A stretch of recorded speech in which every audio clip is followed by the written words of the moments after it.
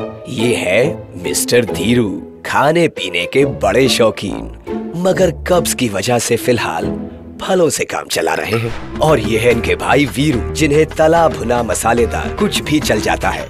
मगर वीरू के पास आखिर ऐसा क्या है जो धीरू के पास नहीं? धीरू ने कब्ज के लिए अपनाए हर्बल नुस्खे, जबकि वीरू ने कब्ज के लिए चुना डल्को फ्लेक्स जो कब्ज मिटाए सिर्फ़ छह से आठ घंटों में। अरे भाई, तू भी डल्को फ्लेक्स ले ले। डल्को फ्लेक्स छह से आठ घंटों में कब्ज मिटाने का दावा है।